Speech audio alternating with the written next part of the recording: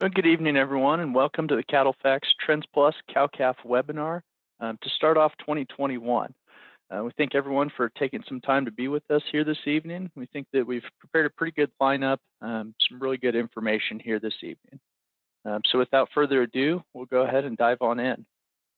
Um, but first, we would like to extend a big thank you to Elanco Animal Health um, for continuing to be a sponsor um, of this webinar series. Um, they've sponsored it for a number of years and really appreciate their sponsor sponsorship to allow this uh, webinar to be free um, to all cow-calf producers. As far as the preview for what we're going to be discussing this evening, um, we'll begin the discussion uh, talking about the grain complex, uh, feedstuffs, and drought. Um, obviously, some big movers here in the market and yeah, something that's the top of mind for many people. Um, then we'll touch on where we're at in terms of the liquidation uh, in this in this cattle cycle, and take a look at what that means to the market fundamentals, both uh, in the near term and as we look out towards the next couple of years. Um, and then we'll go ahead and roll that into looking more specifically at our outlook for the 2021 market um, for calves, feeder cattle, and fed cattle markets.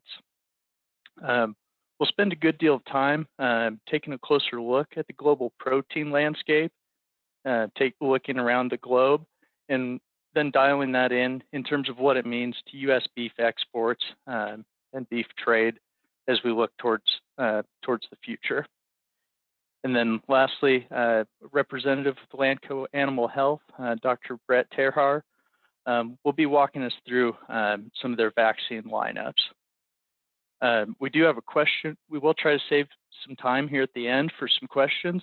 Um, so please enter those into the uh, into the chat box or the question box, and we'll spend some time uh, going over those at the end. I'm Patrick Linnell, an analyst here at CattleFax, and I'll be walking you through the first portion of uh, this evening's agenda. So first, taking a look at the feed grains, um, the feed grains complex you know, obviously corn has been a big mover here in the last um, couple months. Uh, as we've seen exports um, surge quite a bit higher compared to expectation and where they'd been the last couple years. Um, and then I've also seen some adjustments in terms of bringing down the, the production numbers um, and bringing down the beginning stocks as well. And so as a result, corn has moved pretty sharply higher. Um, as we've brought stocks to use um, from that a very comfortable 20 plus percent, um, you know, with the initial estimates for the crop, um, now down to around that 10% level. So as we look at that stocks to use estimate um, along the bottom hand of this axis, uh, compared to price along the left-hand side, you can see where we've spent the bulk of the last several years um, above that 12 to 13% stocks to use area um, that's tended to equate with corn in a 325 to 425 market um, when you're looking at spot corn futures. And now, you know, with the stocks to use being brought back um, to around 10%, you know, would suggest that corn should be pretty well supported um, north of that $5 mark, as long as that stocks to use measurement is down around uh, that 10 to 11% mark, um, as the market simply has to ration some demand uh, to ensure that there is you know, some corn supply available. And then not to mention, you know, as we look here over the next several months, um, corn will have to continue to compete with soybeans, um, which have also moved sharply higher, to continue to ensure uh, to continue to buy acres you know, as the farmer makes planting decisions. Uh, soybeans here in front of you today, obviously, also one that's moved pretty dramatically. Uh, stocks to use down, you know, around a 3% level, the tightest that's been um, in quite a few years, and, and, towards certainly towards the lower end of the historical range. And so clearly, prices have responded as well. Uh, the bulk of this being driven by increased exports and something that really most likely won't be changing anytime in the near term um, primarily driven by Chinese demand as they continue to uh, try to rebuild their swine herd. Um, yeah, after um, after the losses from African swine fever, um, and move to a more commercialized production setting. Then on top of that, you look around the globe, the drought situation in South America continues to limit their ability um, to produce grain. And so, you know, it leaves the U.S., you know, as a primary target um, for Chinese, you know, looking to fulfill their grain buy. So certainly expect that, you know, it will take some time uh, to recover the soybean uh, supplies, you know, with from these type of you know, tight levels.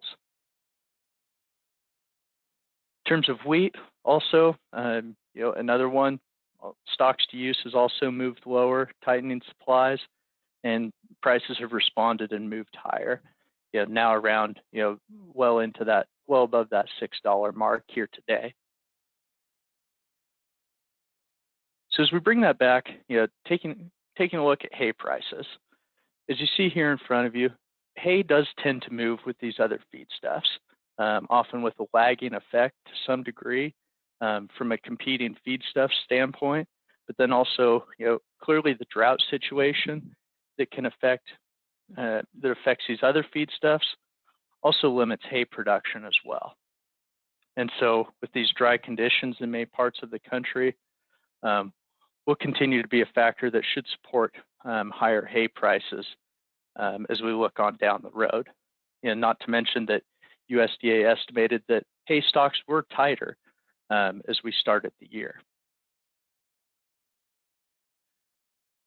And again, speaking of drought, um, you can see that you know clearly plenty of paint on the drought monitor, you know, especially as you look towards the southwestern portion of the country um, in some pretty exceptional drought levels. Yeah, and working its way out towards the west coast, um, as well as up into the North Plains um, and into western and central Texas there as well. Um, so pretty, pretty, uh, you know, obviously pretty significant conditions in terms of the drought throughout the bulk of throughout a lot of cattle country.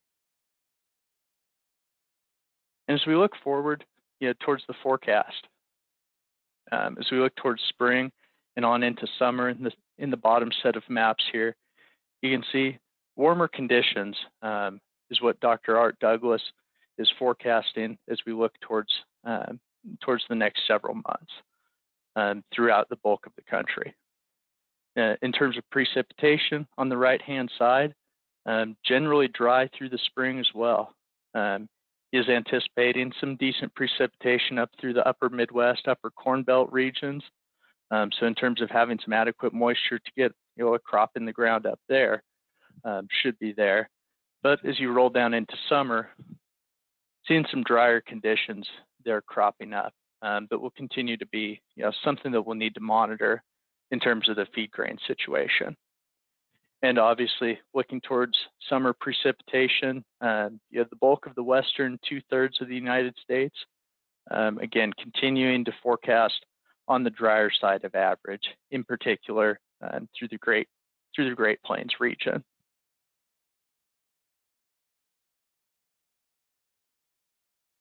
So shifting gears, taking a look at the cattle market landscape.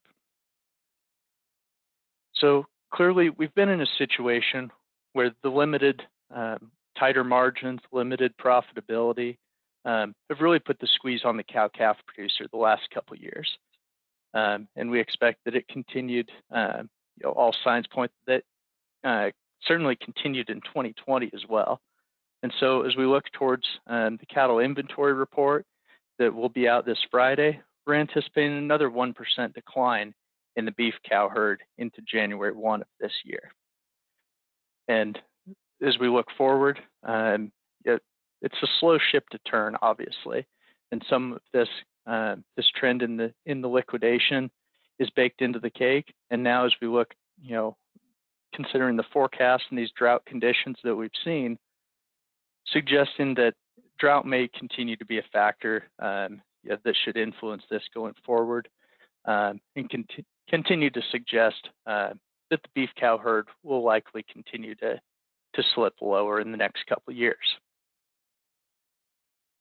Now, fed slaughter, obviously following the beef cow herd um, with the lag in terms of the fed cattle supplies.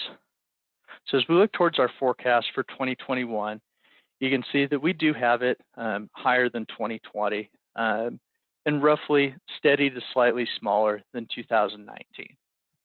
Yeah, and recognizing that a big chunk of this year-over-year decrease that we saw in 2020 was obviously due to the plant shutdowns uh, and the subsequent backlog of cattle, both inside and outside of feed yards that we saw during the spring.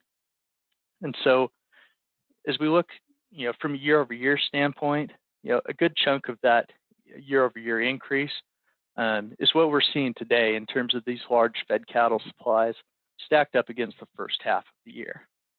And so as we look on into the second half of 2021, we can anticipate you know, that we will start to work into those smaller cattle supplies and those two years of consecutively smaller calf crops that we have behind us will start to show their way through.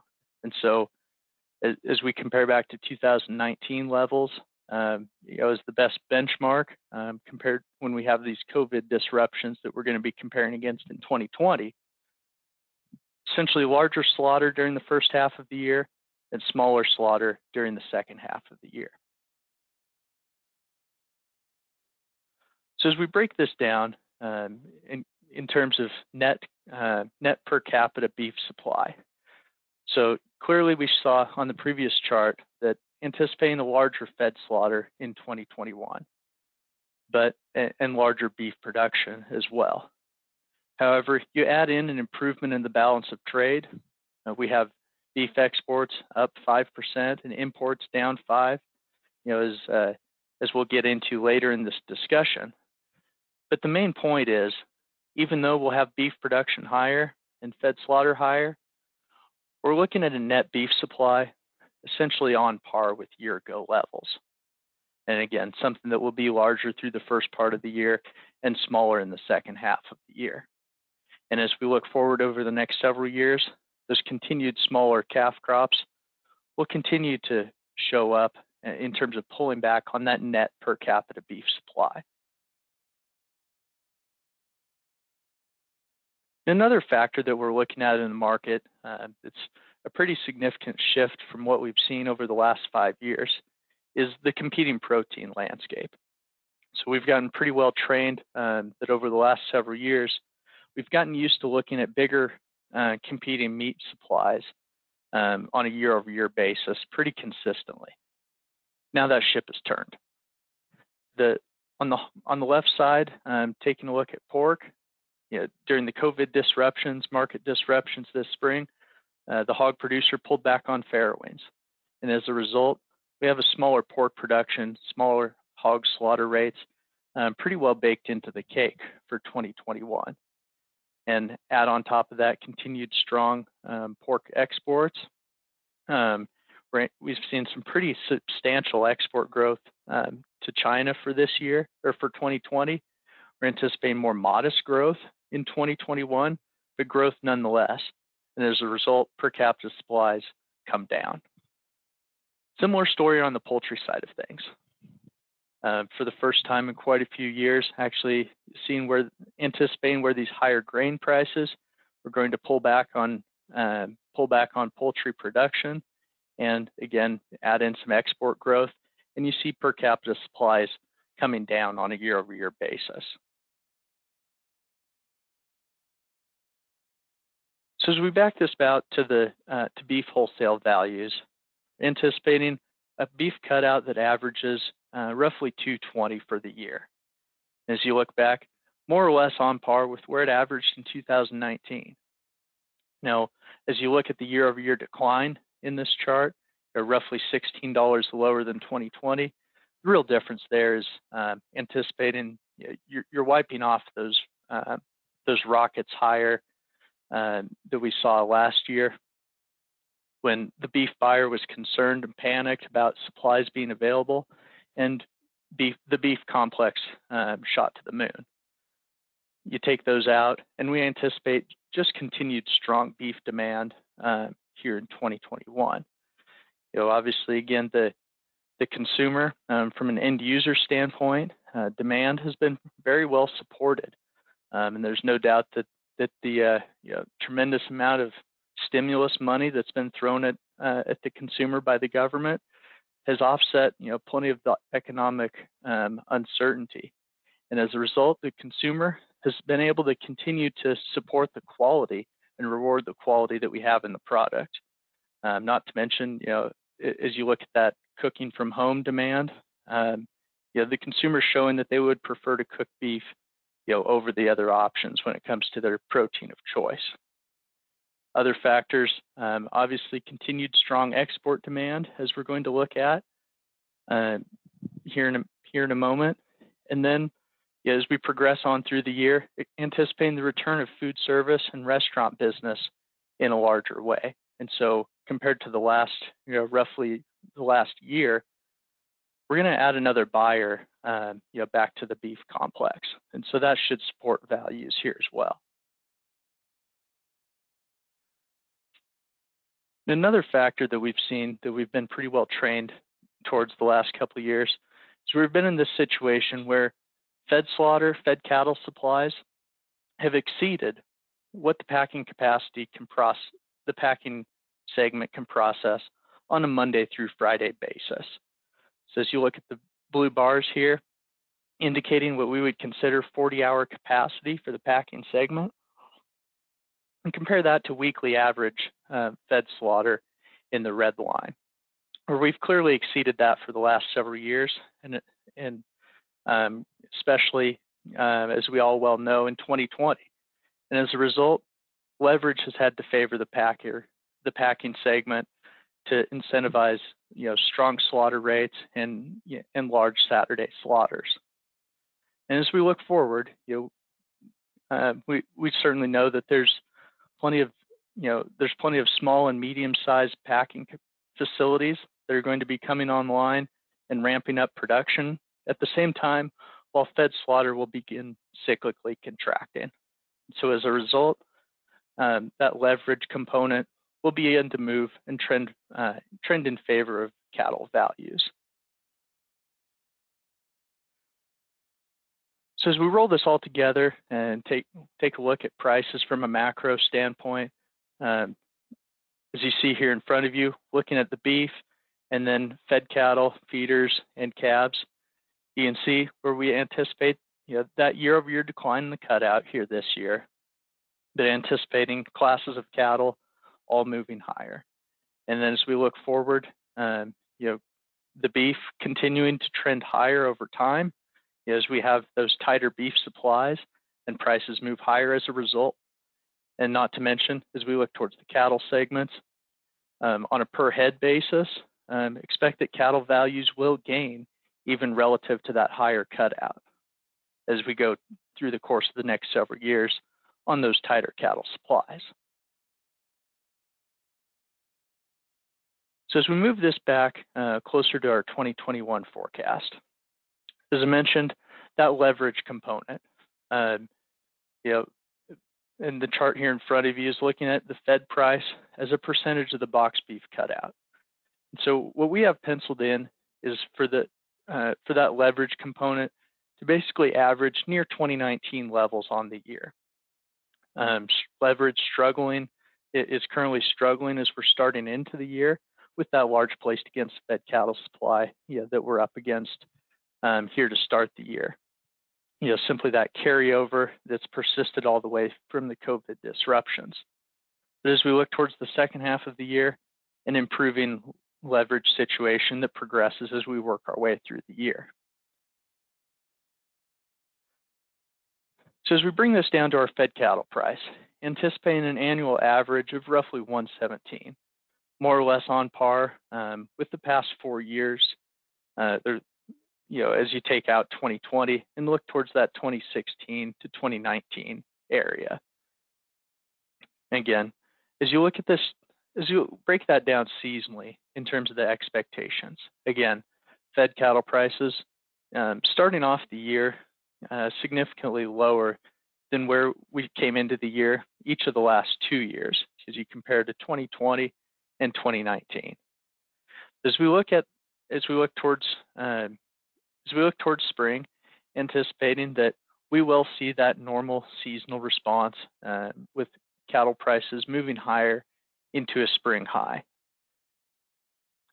if you want to anticipate something roughly in that lower 20s area here today um, would be our expectation and recognizing that there is potential more upside uh, you know, depending uh, depending on a number of things how fast we move through the front end supply and if the cattle segment's able to gain leverage quicker than we anticipate or also um, you know, the potential for um, for futures led led movement higher into a spring high um, as the market starts to look towards tighter cattle supplies in the second half of the year and on towards, you know, and over the next several years. And as we roll through summer, should find very strong support in this lower teens market um, and potential that we don't get that cheap as well. Um, you know, certainly as you look at June and August live cattle today, sitting there in that 18 to 19 area, um, you know, does suggest that the market is anticipating something better um, than even where we're at here today for a summer market. And then as we get towards the second, get deeper into the year, um, you often get into this situation at this point in the cattle cycle where we're moving into tighter fed cattle supplies. Your fourth quarter highs can take out those spring highs.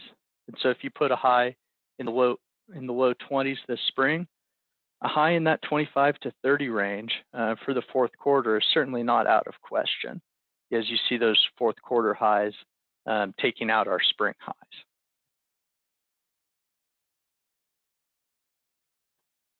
As we shift gears to feeder cattle, um, certainly where you're seeing plenty of the impact of higher corn, higher cost of gains working their way through. Um, you know, certainly right here as we're starting the year, we're in that typical slow season, slow spot, um, you know, where feeders do tend to put in their annual low for the year in the first three or four months of the year. And so no surprise that, you know, basis the CME feeder cattle index, an 800 pound central plains steer, basically sitting there at a mid 130s market. But as we look, you know, deeper into the year, um, you know, we think that while feeders should be pretty well supported you know, in this area here in the near term should be moving higher, um, following that typical seasonal pattern as you look at the gray seasonal index into that August, September, October timeframe, late summer to early fall. Now, for those of you that may have read our long-term outlook that we published um, in early December, we anticipated a high going up to the 160 mark. Now, and that was that was roughly a dollar ago in the corn market. So considering those changes, um, you know, some rough math here does suggest that, you know, a, few ways that we could get there and how that would impact, you know, our potential forecast. So, yeah, cost of gains have obviously moved higher, but at the same time, um, yeah, it's been partially offset by a move higher in the deferred live cattle futures, where high corn equals higher cattle prices. And you see where the function of the market will be to continue to uh, to prop up and support the deferred live cattle at levels at levels that are above cost of gains to continue to incentivize cattle to be placed on feed. And so as a result, we've seen um, some of this this hit in terms of cost of gains be offset by higher live cattle futures. So as we look towards that 160 mark, you know, say we do see corn continue to move higher and you push cost of gains up to $1.15. If we have the February and April of 2022 live cattle sitting at a 25 to $30 range, it'll be hard to get feeders to that 160 forecast that we had penciled in coming into the year. But recognize that both the corn and cost of gain or the live cattle side of things, either of these levers can move. If you push if you bring, keep cost of gains at this dollar five area, uh, say that's roughly where we're at today. If you keep cost of gains in that area and a 20, 25 to $30 live cattle futures could still get you to 160. Or cost of gains do move higher, corn moves higher, that if you see live cattle, you know, adding one more layer, getting to that 130 to 35 area, that could also get you to that 160 mark. So a couple of factors to be watching as we try to continue to hone expectations for that late summer, early fall feeder market. In terms of calves, um, our annual calf price forecast um, basis a U.S. average 550 pound steer. Um, we're calling an annual average at 168 this year, roughly $10 higher than what we saw in 2020, and you know, roughly $4 higher uh, than 2019. So as you look at the chart, you know, again, feeder prices have, or calf prices have been more or less range bound, you know, for the last 45 to 60 days. But as we look towards uh, as we look towards spring, prices will begin to move higher um, as that grass demand, as that turnout demand uh, begins to begins to ramp up. But clearly, this is something that you know as we look at these drought conditions and these higher costs of gains from higher feed co feed costs will be a limiting factor. It could very well be a limiting factor to the spring rally. So again, our LTO forecast, our long-term outlook was for 180 high for calf prices. We may not get there, uh, depending on how how you know, the drought plays out, um, turnout demand, and, and, as well as feedstuffs.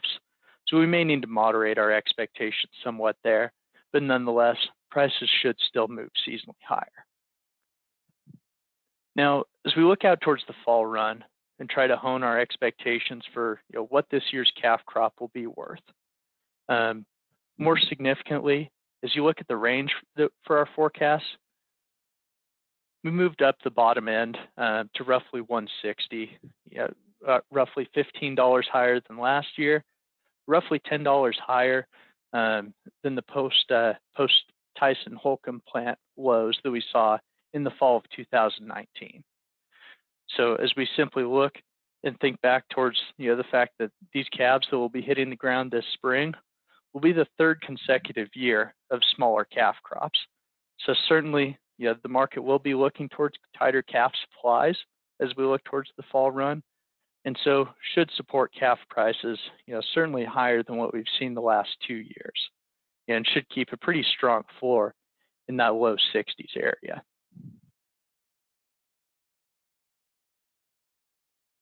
So to summarize this part of the discussion, um, you know, as we look across the across the cattle market landscape, you know, clearly feedstuffs, feed costs, and drought um, will be the biggest threats as we look towards 2021. And you know, the most important things to try to manage to, try to manage around um, for the year. Now, cyclically, cattle producers have responded and pulled back on their in, cattle inventories, their cow herds, in response to these lower prices that we've seen over the last several years. Yeah, not to mention just these extreme levels of volatility and uncertainty yeah, that we've been hit with as an industry over the last 18 months. And so as a result, yeah, the cow herd is liquidated. Um, and certainly expecting that drought will continue to be a factor as we look towards you know what we do as an industry in 2021. But as a result, tighter cattle supplies are coming and are and will begin to work through the pipeline.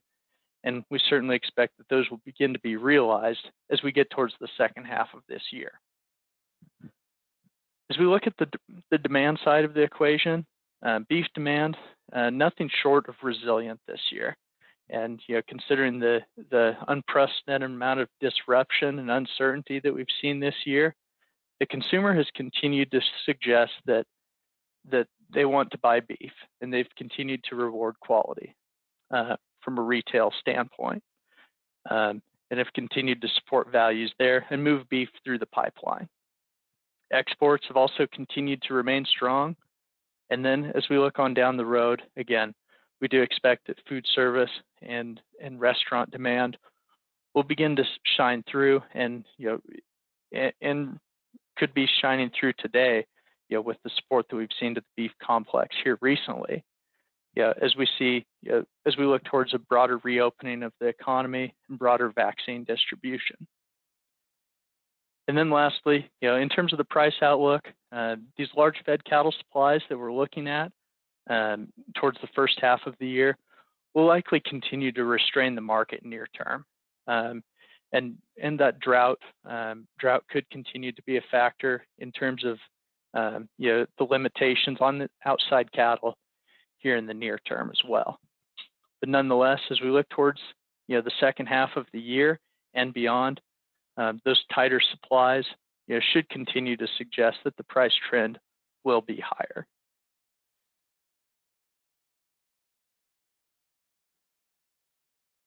So with that, I'm going to go ahead and pass the baton uh, to Tanner Aherin to walk you through the second part of tonight's discussion. Tanner? All right, thanks. Thank you, Patrick. I'm going to go ahead and get things set up here. Um, before we get started, if you have any questions, be sure to uh, enter those in the chat box. Uh, we'll try to, we'll save a few minutes at the end to uh, try and answer all those. Um, I'm going to walk you through the global uh, segment of this presentation. And we're actually getting this content and these slides from U.S. Meat Export Federation. Dan Halstrom, the CEO of USMEF, presented uh, this content in our recent Outlook and Strategy seminar. And unfortunately, with his busy schedule, he wasn't able to join us this evening. Um, but we still thought that this material is very important, very unique, and provided a uh, deeper dive into you know the export markets and why beef exports are so important to our markets. Um, so I'm going to hit the highlights and paraphrase with what he said in our recent seminar. But first off, for those of you that aren't familiar with the USMEF, they're a nonprofit organization based out of Denver, Colorado, um, but they also have offices and staff located all over the globe, and that's paid uh, pretty big dividends here lately with the travel restrictions. They haven't missed a beat, been uh, charging right along with their jobs. Uh, but their main goal is to promote U.S. beef around the world, um, educate consumers, retailers, everyone involved involved in the meat sales and the supply chain around the world. But to start things off, um, we're going to take a step back and look at where we stood entering 2020 and we started the year off with some really strong momentum before COVID hit. We had some very valuable trade agreements that we had agreed upon with several different countries, and the first one being with Japan. Um, Dan stated that he thought this was actually probably the best ever trade agreement for the beef industry, and if not the best ever, at least since BSE.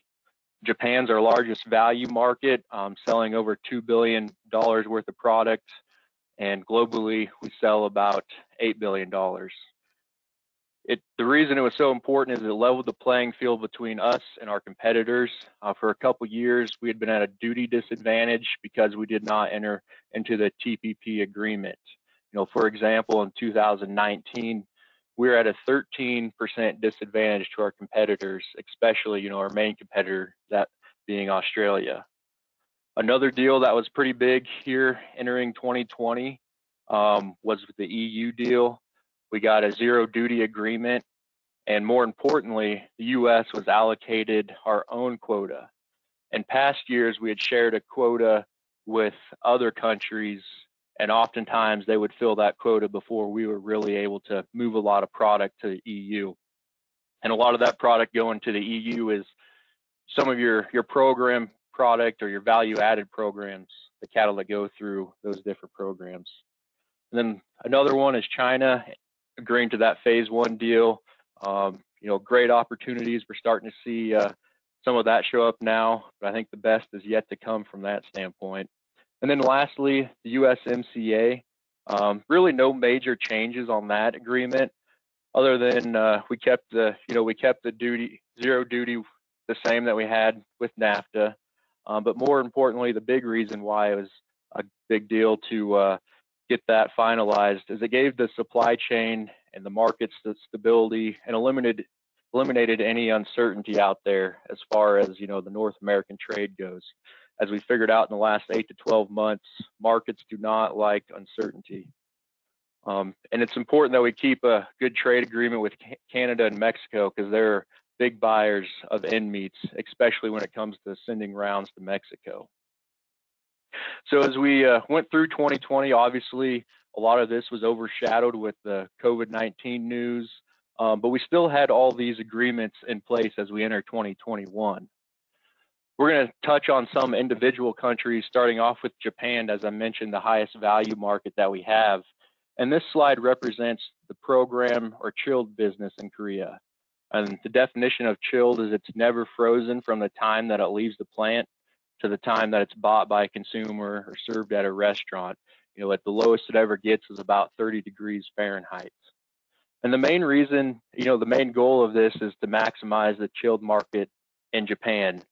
And the reason why you want to maximize the chilled market um, around the globe is because the chilled market, chilled business is a 52 week per year business. It's more of a hand to mouth business. If you think about some of your frozen products uh, and how that market works, you can do a lot more speculating in that. You can wait for the market to hit a low and buy a bunch of product and then sit out when the market's at its highs. Um, so basically in the in the chilled product, price is inelastic. It essentially doesn't matter that you continue to procure product each week. And you'll notice the charts are showing the market share battle between uh, four different countries, with the main two being Australia and the US. And from 2017 to 2018, um, we started to narrow that market share, mostly due to that 13% duty disadvantage that we had. And as we went to 2018, US only had about a 3% market share advantage. If we had 2019 on this chart, it would have been less than 1%. Um, 2020, once we get the final numbers, it looks like we're on pace to have about a 4% market share advantage over Australia and would expect to see that to continue to um, further or going forward from here. So that's a pretty big deal to, to gain market share um, in Japan. Here's an example of the online campaign that USMES uh, MEF did through social media with some of the national retailers essentially how it worked is basically every X amount of beef that they purchased, they were entered into a, this promotion or campaign. Uh, they anticipated to get about 1 million entries in the two months they did it from July to August. And then the actual number of entries that they got was 12 million. Pretty impressive number uh, relative to their expectations. Just proves that uh, the consumers over in Japan are, are hungry for the U.S. beef and its unmatched quality that we produce here domestically. As we take a closer look at Japan, in particular the retail segments over there, uh, they break it down into national and regional retailers. Uh, the national retailers have really been the cornerstone for U.S. beef. Uh, we send a lot of product to the, the bigger retailers. Uh, I'm not going to list those names you can see there in the top bullet. Um, but that's very strong, high demand for U.S. product within those bigger retailers. On the other side of the re regional retailers, the regional chains, um, we don't have a lot of U.S. product within those those stores, um, or didn't to start off 2020. A lot of times they're supplied domestically by domestic producers or processors or by our competitors Canada or Australia. But in the last 12 months, uh, the U.S. product has really gained a lot of traction there. A lot of it has to do with COVID. Uh, we've leveled the playing field out with the duty duty free or the taking us back to the the same duty as our other competitors. And then at the same time, while Australia has been rebuilding their herd, they can't find the supply down under that they need. And so uh, as we think about uh, Japan over the next few years, would expect to see uh, the regionals really carry the weight and uh, really see a lot more product within those stores. Another main market that is a close second to Japan that makes up about 1.7 to 1.8 billion in sales is Korea. Um, and we, they started to notice a transition before COVID, um, a strong demand for convenience. And a lot of that has to do with the demographics within Korea. They have a lot of one and two income houses, households or professionals with no kids. And those people have a lot of spending power. They have a lot of money that they want to spend on quality and services. And at the same time, they also have an aging population, which has a strong desire for convenience. Um, so the trend for one and two income households pre-COVID was expected to increase 70% over the next four years. And then you add in COVID, it only uh, accelerates, you know, the fact that people uh, want to continue to spend more money on convenience. And this chart is a showing that Korea is expected to have the biggest growth in e-commerce sales uh, for food drinks from 2019 to 2024, according to Euromonitor. Obviously, U.S. is pretty close there, sitting at 116% increase. Um, but aside from that, South Korea is, has a big advantage or big expectations on a percentage basis relative to the other countries listed on here.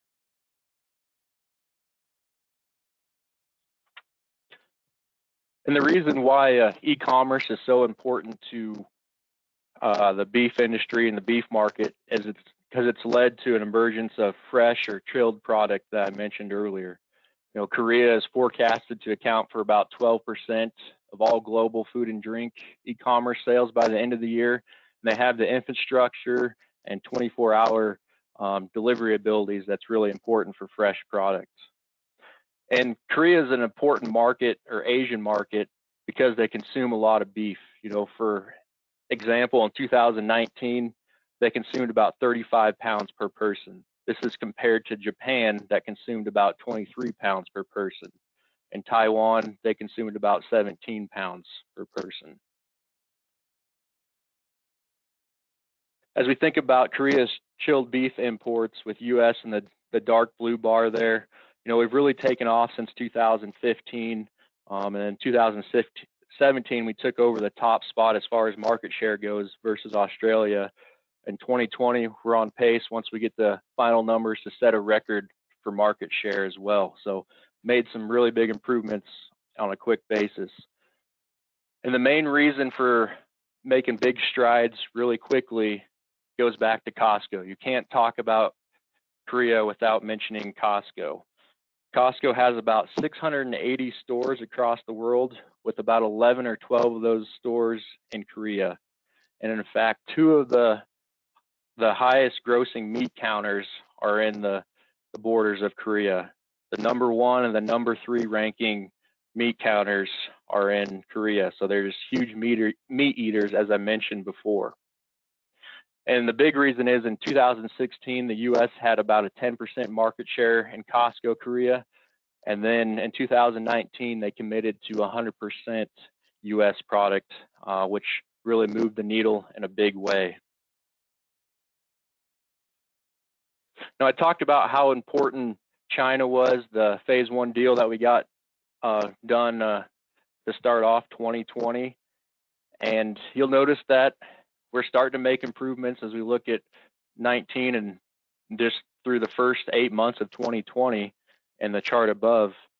And looking back over time after BSE, we really didn't gain any access until about 2017.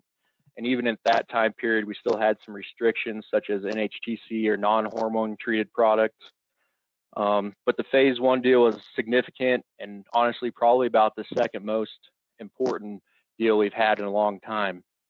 Um, we've seen a, they've seen a big increase in plant registrations to send product to China, going from 70 to over 500 plants. So it was, uh, you know, some of the major wins within that that deal where the no traceability, removed the NHT restri NHTC restriction, and now have uh, access for product that comes from animals over 30 months of age. Now we still do have the ractopamine free uh, restrictions in there. Um, but it is, uh, you know, does have a risk assessment being conducted currently. So great results so far. Uh, just an example, in November, we exported about 24 million pounds to China. Um, that compares in November of 2020 and in November of 2019, we exported less than 4 million pounds. So pretty big improvements. As we touch on the uh, Mexico and Central America um, markets briefly, when you think about e-commerce, these regions are on the lower end of the charts, kind of the opposite side of the spectrum compared to Korea. However, with COVID, we're starting to jumpstart that e-commerce and a lot of the online platforms, and would expect that to become a become a norm, more normal process post-COVID. Um, USMEF has uh, taken the initiative um, to create virtual platforms uh, for consumers con and to consult with chefs and nutritionists um, do this online, whereas before they were doing it at the point of sale or at the you know the retail stores, etc. The last region we're going to touch on is Africa. Um, the blue areas represent where USMEF is working for the last four or five years. Uh, the red is where they're targeting. A big trade deal that is currently being negotiated is a free trade agreement with Kenya. Um, and the reason why that's important is because it uh, right now Europe has a strong presence in that area as far as science and production and ag practices go there. Uh, but this would give the U.S. A, a, great opportunity to promote its product there and really uh, show how the U.S. Uh, produces a safe, wholesome product. Another thing to touch on is that Africa is the second largest destination for variety meats, um, just behind the Middle East. And we think when we think about price discovery, competition is good. It's uh, encouraging to have two main buyers competing for one product. Um, through September, through last September, beef variety meat exports to Africa were up over 60%. So pretty impressive. Um, it's a key destination when it comes to variety meats. Now the final slide here that I'm going to touch on, probably the most important, looking at USMEF's export forecast. Um, the 2020, we'll get the official December numbers here shortly, but probably going to see uh, uh, a decline, year-over-year decline, mostly due to COVID disruptions through the spring and summer. But as we think about 2021, do anticipate a strong, robust demand, um, and it's going to be broad-based across all those countries. Canada on this list is the only one that USMEF has um, forecast to see a year-over-year decline. You know, continue to see strong movement to our main players of Japan and Korea, and then you've got China expect to see a large year-over-year growth, up 28%. When you roll up all those countries, USMEF is a little bit more optimistic than CattleFax right now, uh, but they certainly have some valid reasons with the content that we just went over. Uh, they have exports forecast to grow 10% in 2021.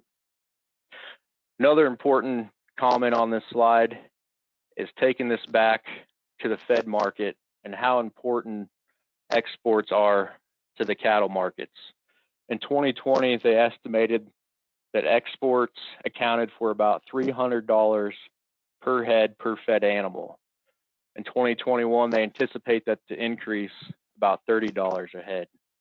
So it's just reiterating how important it is that we have access to all these countries um, and continue to promote our, our beef around the world. So lastly, just to summarize, you know, we started off 2020 uh, with a strong tailwind, a lot of momentum.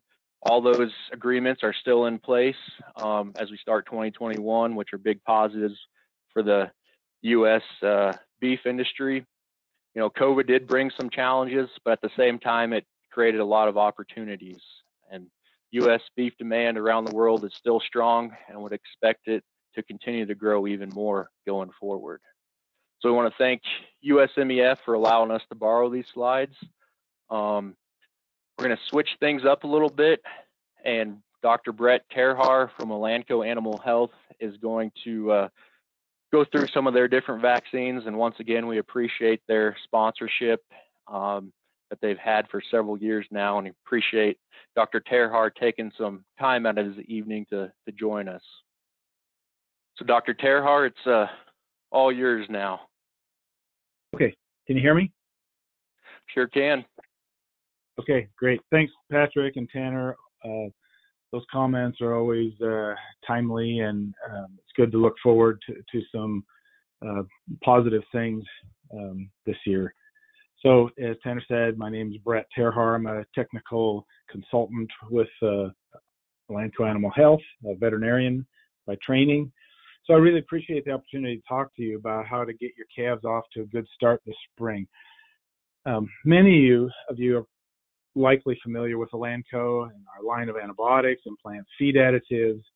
For years, American farmers and ranchers have, have looked towards Elanco for brands like Micotil, uh, Rumensin Tylan, and others to control cattle disease, improve performance and production.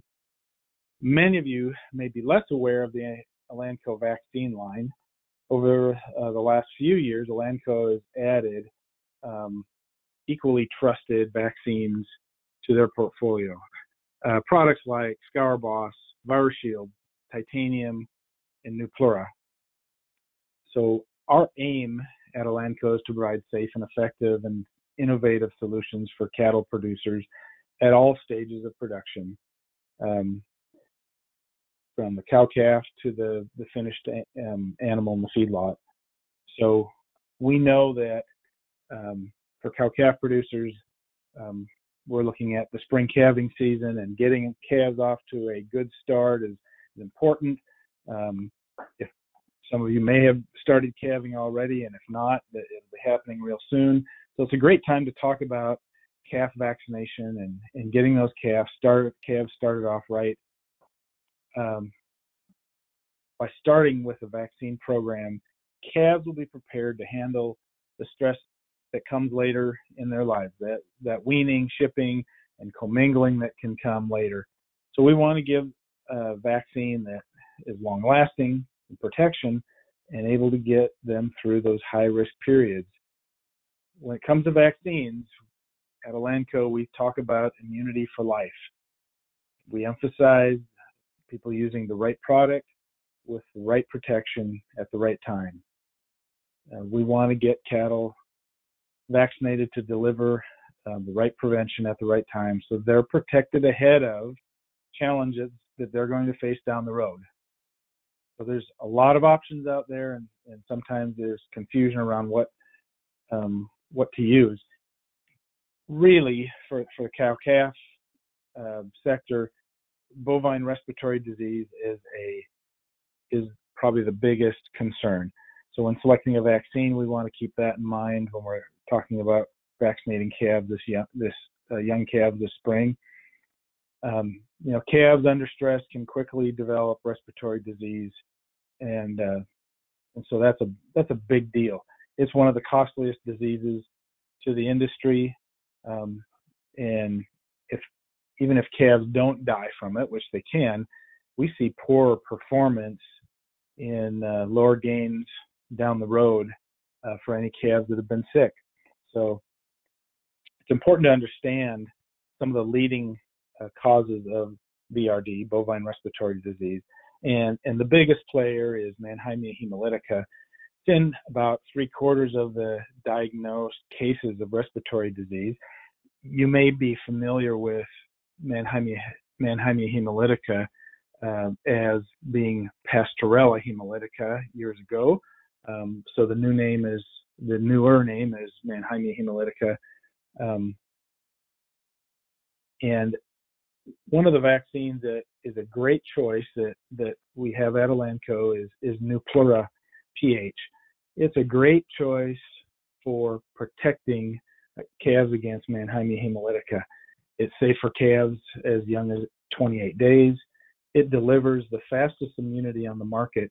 Uh, all our work and when we uh, do our um, investigative work on licensing this product, we see protection uh, just 10 days after vaccination. It's it's also known for being really easy on cattle, uh, and that's a big deal when you've got when you're vaccinating calves this spring. Um, no one likes to see calves that go through a sweat or look poor after vaccination. And one of the things that we hear over and over again is Nuplura is really easy on cattle. It, it's it is unique because it's made with a, a unique uh, recombinant technology. So um, one of the newest Mannheimia vaccines on the on the market, and that unique um, method of manufacture re- manufacturing reduces the amount of endotoxins. Those are the things that make cattle look bad after vaccination. This product has a super low level of endotoxins because of the way it's manufactured. So not so you get something that's safe but gives quick and strong protection. Um, you know, another thing that that people talk about or we get questions about is um, what about using intranasal vaccines in young calves? Um, one of my first comments is um, if the calves are getting colostrum like they should within the first 12 hours, I I would be somewhat I am somewhat hesitant to be in a big rush to get a vaccine into those calves. Every time we put uh, a vaccine up the nose or under the skin, those calves have to deal with it.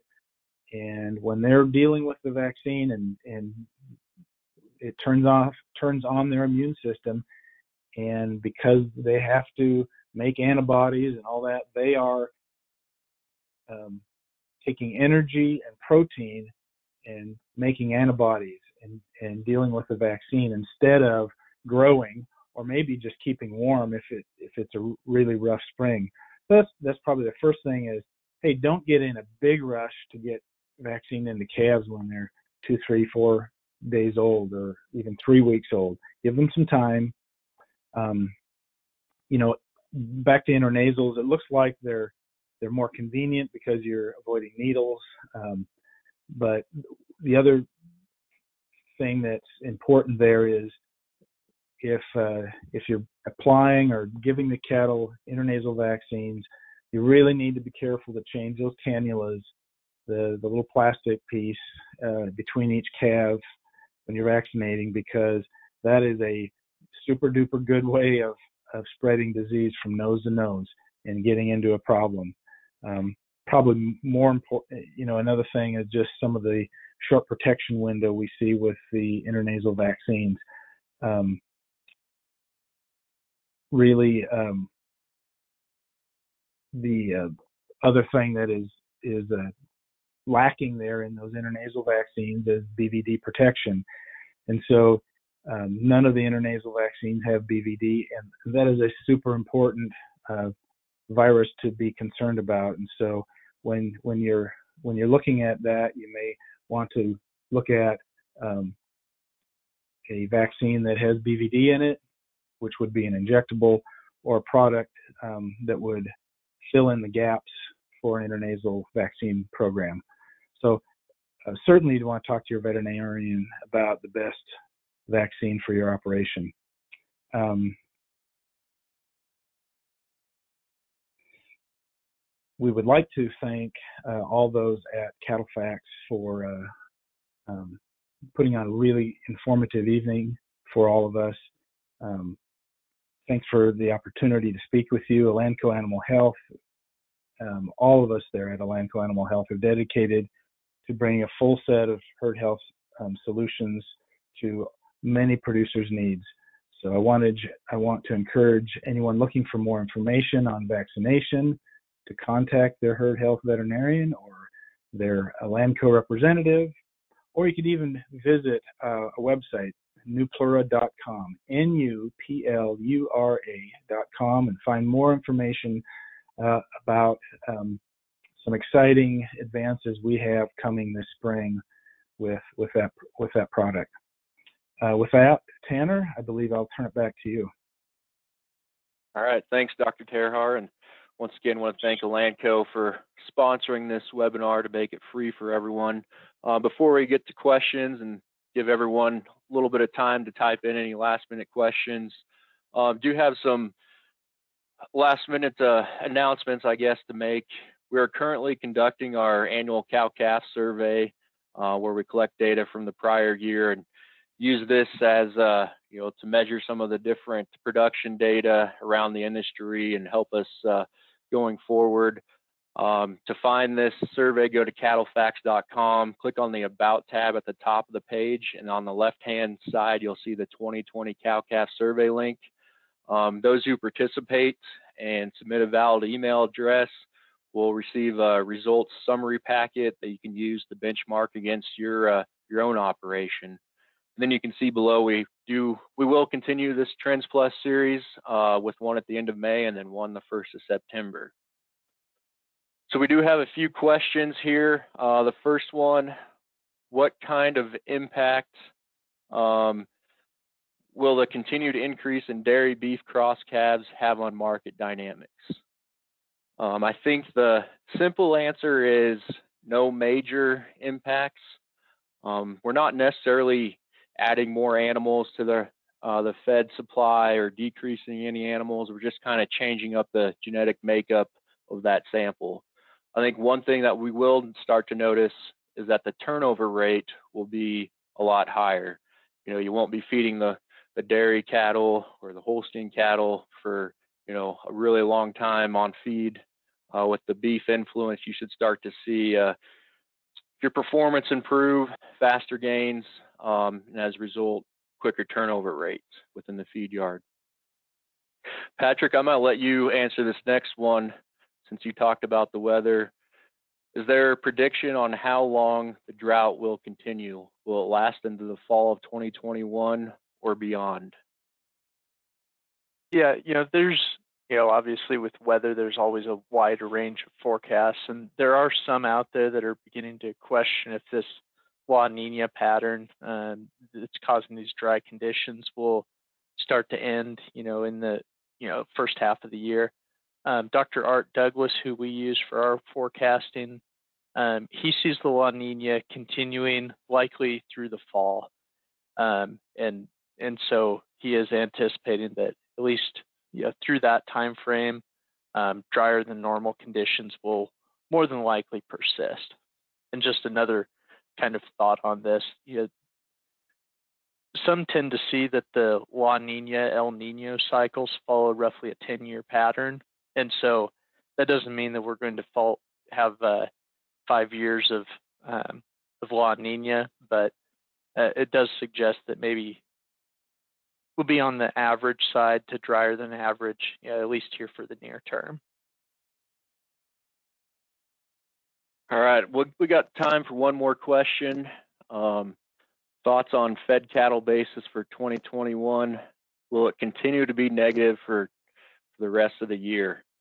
Um, that is a great question. It's definitely been a challenge that uh, cattle feeders have dealt with really since last summer. And once you get into a weak basis pattern, it's really tough to get that to flip. Uh, you know, you've a lot of it has to do with the poor leverage situation that we're in right now. Um, and at the same time, it has to do with what Patrick went over with the tighter supplies on down the road. And that's why we've built such a premium in the back end of the live cattle futures. Um, so with that said, I think it has, you know, a lot to do with when will we start to see the leverage really change or when will that uh, start to work more towards the cattle feeder um, and at the same time, that'll probably happen when we get into a better supply situation as well. But once you uh, start a weak basis pattern, it's really, really tough to uh, get out of that. And basis is, uh, you know, and the situation we're going through right now is is pretty difficult to predict. Um, so that's just some thoughts and comments on on that topic. Looks like we're getting short on time. Um, I know we've got a few questions here that we weren't able to answer. We'll uh, send you an email tomorrow, reply to or give you a response. If you have any fo follow-up questions later, uh, don't be afraid to send myself or Patrick an email, or if you have any questions um, for Elanco or Dr. Terhaar, you can send us an email as well, and, and we'll uh, forward those on. Uh, there will be a recording of this webinar for you to reference later on.